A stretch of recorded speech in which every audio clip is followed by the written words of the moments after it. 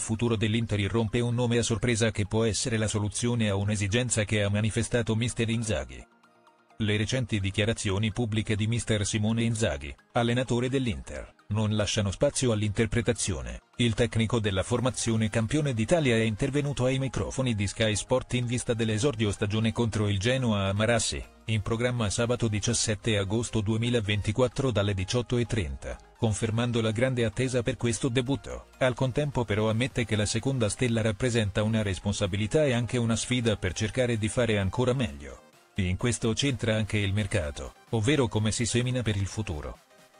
Da questo punto di vista pur dicendosi soddisfatto per la squadra che ha a disposizione per la nuova annata, il tecnico non nasconde che aspetta ancora qualche altra operazione per puntellare un reparto su tutti, ovvero quello difensivo. Fino a fine mese la sessione è aperta. Noi abbiamo una mancanza nel reparto difensivo e ne sto parlando con la società, questi dialoghi dovrebbe facilitare il cammino a una nuova trattativa che consente te all'Inter di prendere qualcun altro, come affermato dall'allenatore nerazzurro.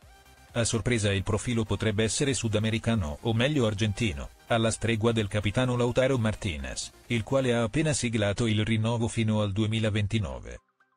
Inter, Inzaghi attende un nuovo rinforzo in difesa, può arrivare dall'Argentina. Secondo le informazioni trasmesse da Sport Italia, la novità difensiva dell'Inter potrebbe essere diversa ovvero riguardare un investimento anche per il futuro, attraverso un profilo giovane tutto da testare. Si tratterebbe nella fattispecie di Thomas Palacios, difensore classe 2003, che attualmente milita nell'Indipendiente Rivadavia, formazione di Mendoza che partecipa al massimo campionato argentino. Il cartellino del difensore di grande prospettiva però è di priorità del Talleres, al quale è legato da un contratto fino al 2025.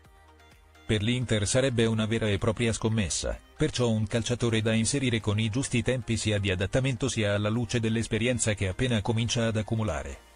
Il 21enne di piede sinistro gioca nella posizione di centrale ed è nazionale under 20 con l'albiceleste. Potrebbe anche trattarsi di un nome per il futuro da tesserare al momento insieme a un profilo più navigato. Ad esempio, negli ultimi giorni sta rientrando in orbita Nathan Zisi, a cui l'Inter ha iniziato a interessarsi a luglio. Il mancino classe 2005 del Nantes è anche lui un mancino con ottimo senso della posizione che potrebbe fare al caso delle necessità di Inzaghi ma anche della linea verde adottata dalla dirigenza nerazzurra. I prossimi giorni aiuteranno a svelare le carte del club.